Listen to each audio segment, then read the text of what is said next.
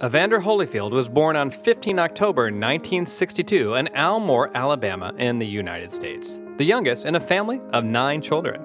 He is a well known retired boxer, famous for being the undisputed world champion in two divisions, heavyweight and light heavyweight, during a career which began in 1984 and lasted until his final fight in 2011. So, just how rich is Evander Holyfield? It is estimated by Celebrity.money that Evander's net worth is now just 1 million, which is all that is left from the estimated $250 million that he won in the ring and earned from lucrative endorsements.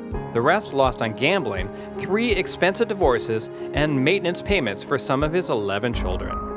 Evander became interested in boxing at a very young age. When he was just seven years old, he won his first boxing tournament, working up to when he was 15 and won the title of Southeastern Regional Champion. In 1983, Evander participated in the Pan American Games, where he was able to win a silver medal, and then won a bronze medal in the light heavyweight division at the 1984 Los Angeles Olympics. This made him noticed and acclaimed among others of the boxing fraternity. In 1984, Holyfield began his career in the light heavyweight division, later moving into the cruiserweight and then heavyweight divisions. Evander was able to show his skill by winning many fights against experienced boxers, and so step by step his net worth began growing, based on his impressive results. In 1986, Evander became the WBA Cruiserweight Champion, and this made him even more acclaimed in the sport. He is the only four time world heavyweight champion, which began in 1990 when Holyfield knocked out heavyweight champion Buster Douglas to win the WBC, WBA, IBF heavyweight titles and become the undisputed world champion.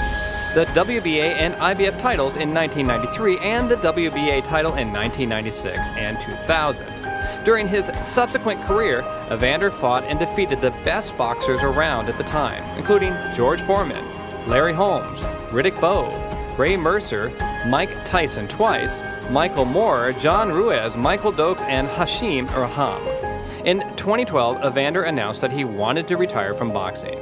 Despite this fact, his official and final retirement wasn't announced until 2014, with a fight record of 44 wins and 10 losses.